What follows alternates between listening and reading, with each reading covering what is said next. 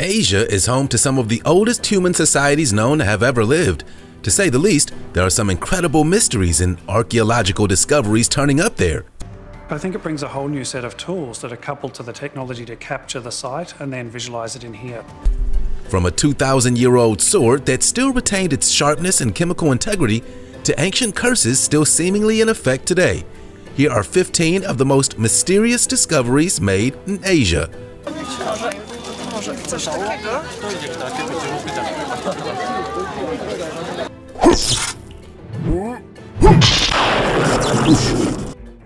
Number 15 2,000 year old sword.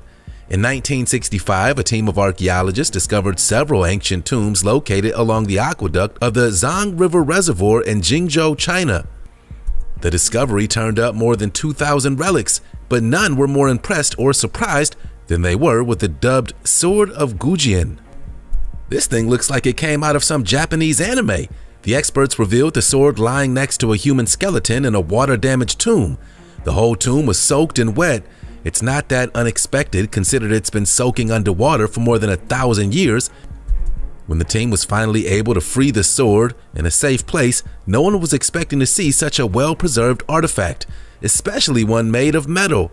The sheath with its black lacquer finish, provided a near airtight fit around the ancient sword, say officials, providing the sword with a suitable state of preservation. Thanks to the protection from the air, the chemical composition of the sword was nearly untarnished and retained a dangerously sharp edge. The state of preservation was revealed all the more impressive when the sword was eventually dated to the spring and autumn period of Chinese history, which ranged approximately from 771 to 403 BC. That age this relic of a sword at around 2500 years old and placed it in a period of epic Chinese heroes that would have used a sword, many of whom have taken gained mythical status in Chinese culture. This sword will only add to that notion. Now, let's get ready for today's open discussion. When it comes to the Arctic and extraterrestrial life, it comes down to two different kinds of believers one that thinks the whole thing is ludicrous, and the other who believes somewhere in the Arctic there's proof of visitations from a time past. Since these regions are so dangerous and cold, they're widely unexplored. Even if humans could explore the Arctic, many of its secrets are frozen within the very ice that make it up. This photo clearly would have made more waves would it have been real, the photo alludes to the notion that somewhere frozen miles deep is an ancient civilization of either alien or human origin. Something drastically went wrong and their society collapsed. Is this another sci-fi tale to transcend time and space, or is there indeed something lurking that keeps its idea forever in the imaginations of humans? Could there be a high-tech, fallen society somewhere out there in the frozen tundras? Or is it yet again another human conjuring of the unknown? Drop your thoughts in the comments to let us know what you think and don't forget to include hashtag open discussion to join the conversation. You want to know a little secret? If you smash the like button, subscribe, and click the notification bell, you'll have superpowers for the rest of your life. So what are you waiting for? Time to fly. Number 14. Sichuan Alien Masca a team of archaeologists exploring ancient ruins in southwest China were shocked to find a trove of strange artifacts and golden treasure predating the birth of Jesus Christ. Amazing, right? Among the most intriguing items recovered is a fascinating mask constructed from sheets of gold. According to the Sichuan Provincial Cultural Heritage Administration, over 500 items have been recovered from the site, with more turning up every day. It's being held as one of the greatest finds in archaeological history. This place covers a whopping 4.6 square miles in site in Sichuan and has been dated to be formed between the 12th and 11th century BC. The latest of treasure revealed is believed to hail from the late Shang dynasty, which ruled from 1556 to 1046 BC. The head of the Institute of Archaeology reported to the Chinese press that the gold mask was not a standalone item, but was likely placed on a larger head shaped from bronze. That statue has yet to be recovered, the gold relic only weighs 0.022 pounds and measures 14.6 inches wide and 6.4 inches tall, making it light for being made with gold. Number 13. Strange Spade Coins For most people, when they think of money, they think of dollars and cents, When people wish to purchase something, they use said bills and coins to equal the value of the product purchased. The notion is simple now, but when about a time where currency wasn't a thing, especially a national currency, let alone international, in ancient China, that value was represented by something much different than dollars and coins, by something that looks like an everyday tool. This ancient Chinese knife, spade, whatever tool it was, was used for that very purpose. Tools were very important in ancient days, so the placing of value was on more tangible things like food, water, and shelter. This is considered one of the first instances of a currency in ancient China, with the known first to be a cowrie shell. It was not until the spring and autumn period, around 771 to 476 BCE, that metal currency began to be used regularly. Metal, after all, wasn't an easy shape in mint like today. Some of the largest and most significant pieces were that of their tools and weapons. Knife, spade, and bridge money all have similar origin stories. These ancient, stylish coins were a derivative of agricultural tools that would have been bartered with. But notice numismatists and scholars call these coins or money rather than the tools they imitate. Number 12. India's Twin Town. If you were to look at the number of twins born in this zip code, you'd be forgiven for thinking there's something in the water. Some of the residents even say as much, but the mystery runs much deeper. The water has been tested and proven nothing is inducing twin pregnancies. Candido Godoy, a tiny agricultural town in southern Brazil, has accounted for a huge percentage of the world's twin births. According to a university study, 10% of births between the years 1990 and 1994 were twins coming from here. That's more than five times the state average. That same study revealed that 50% of those twins were identical. Amazing, right? Clearly, something bizarre is going on in the area. In the absence of explanation, myth and rumors fill its place. A more sinister explanation has gained some steam. 80% of residents here are of German descent. Shop fronts display German names, and antiquated German dialect is still largely dominating the area compared to Brazil's official language. According to this theory, a man by the name of Josef Mengele, a Nazi scientist referred to as the Angel of Death, is the reason for what locals are calling the Twin Revolution. The Nazi-turned mad scientist was thought to have died near Sao Paulo in 1979, but first was reported to have visited the Candido Godoy in the 60s, where he was observed performing various obscure and mysterious tests on the locals, particularly the women who later gave birth to twins. The former mayor claimed that he went about his work under the alias Rudolph Weiss and indeed conducted unfathomable experiments thereafter World War II had ended. Number 11. Curse of Kuldhara A little 12 miles to the west of a desert town lies Kuldhara. The vegetation on the road to the city is minimal, and humans have all but abandoned the area.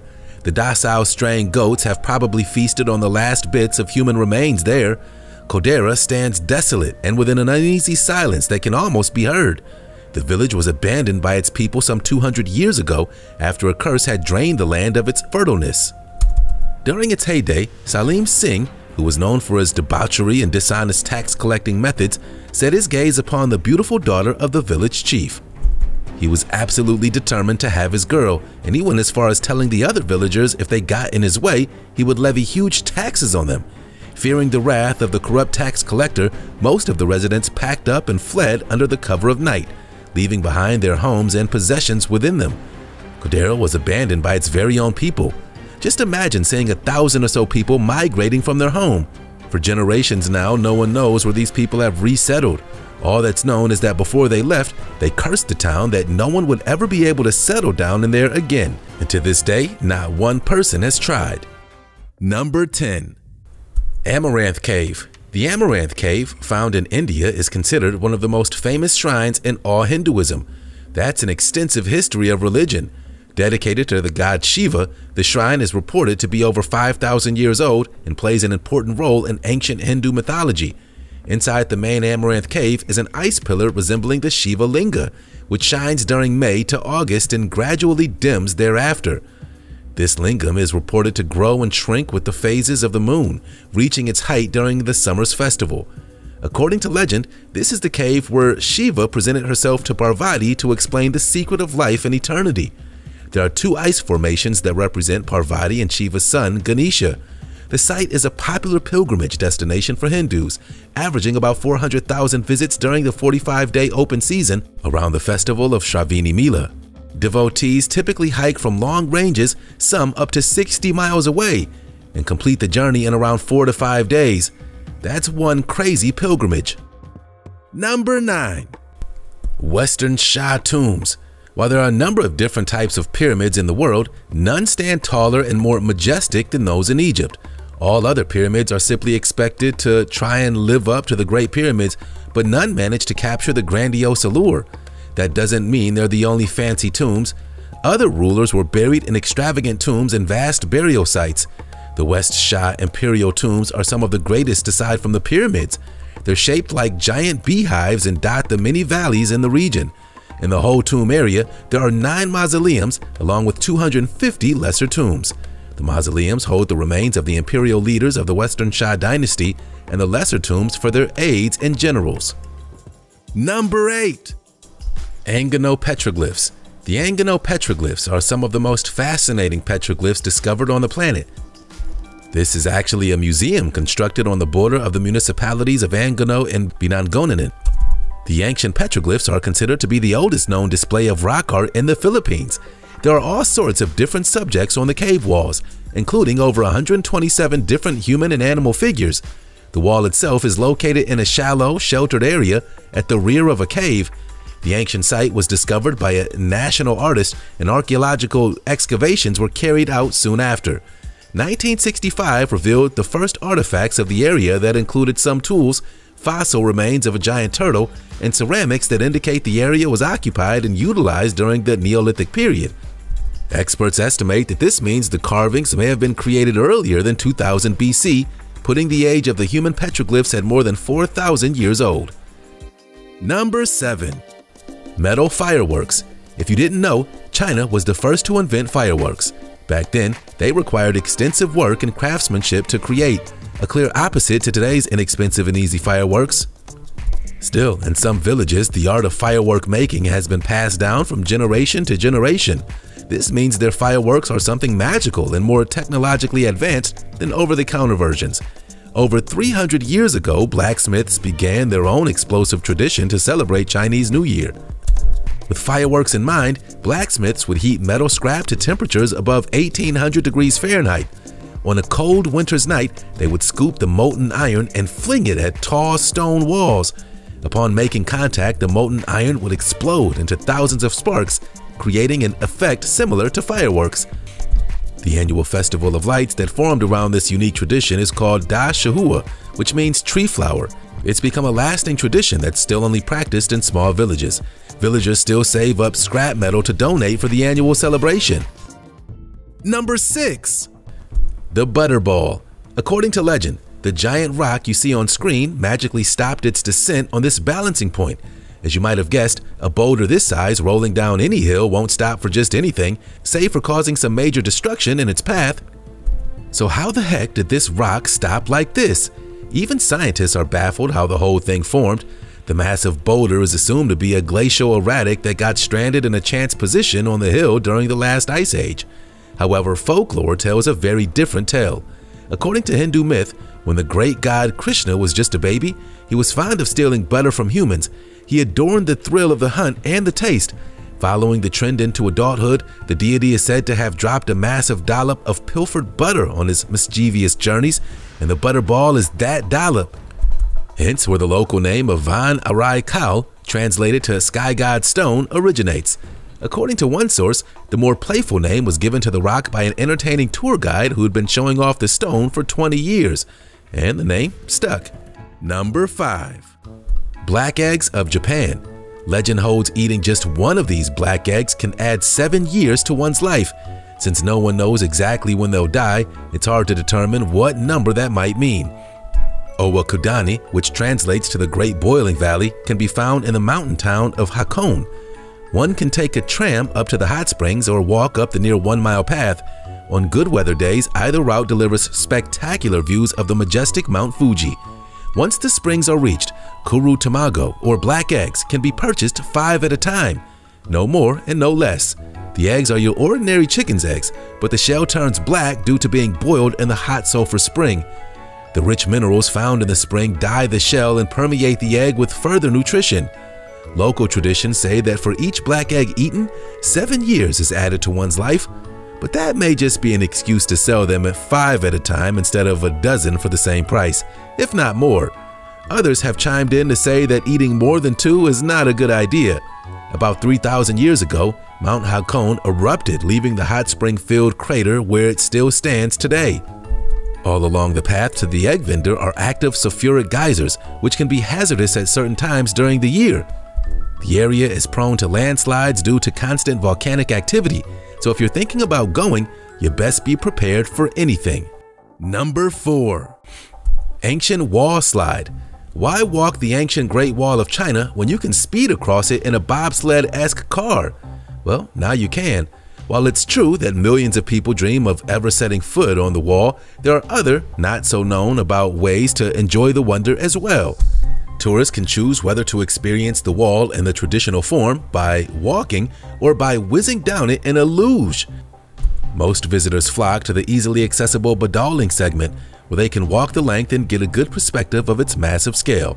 If you've done that or already just want to experience the wall in a different way, you'll want to check out this attraction, and it's just two hours north of the most touristy section of the wall.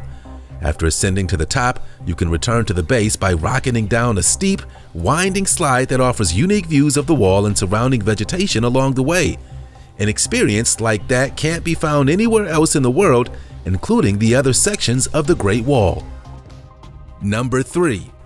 Stunning Sky Sanctuary Standing like three stars atop a pine tree of limestone, Thailand's legendary floating pagodas are easily among the world's most spectacular temples.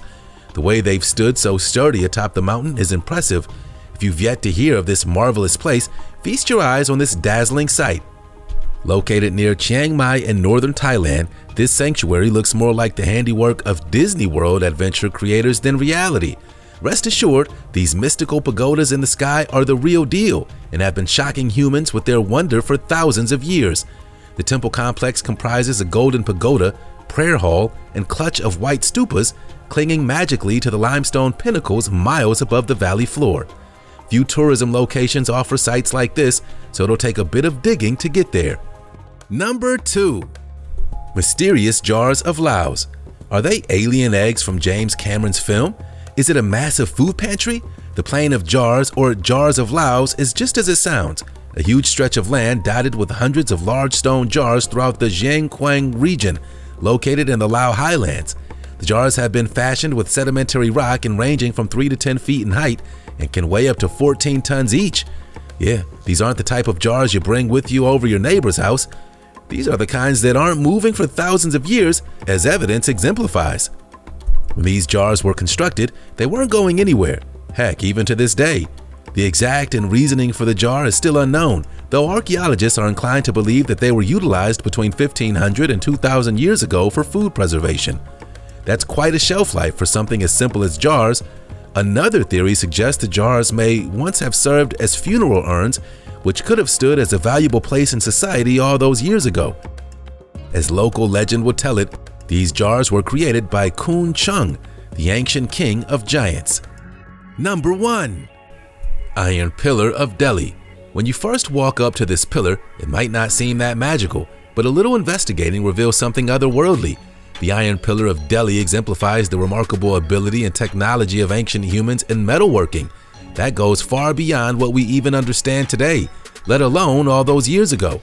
The extremely slowly rusting pole found in the middle of an empty square in Delhi, India has been dated to around 1600 years old, much older than the degradation of the pillar would suggest. Iron is a known rusting metal, so the ancient society that constructed the pillar had some impressive knowledge of rust proofing. Even when constructing iron like this wouldn't be prolific on the earth for hundreds of years later, even modern humans today have yet to create such an effective rust preventive system. So mad props to the ancients. Scientists are still spinning their heads trying to imitate their work. It's barely rusted since it was constructed all those years ago and has become a mystery leading some experts to include the iron pillar in a group of objects known as oop arts or out of place artifacts. These classified objects are said to be unreasonably futuristic for their time of construction. Asia is home to some of the most ancient stories and relic of human history. It's no wonder archaeologists love to excavate there, and they never know what they might turn up, as evidenced by this list. If you enjoyed the video, smash that like button, and don't forget to subscribe to get all our lit content delivered right to your inbox.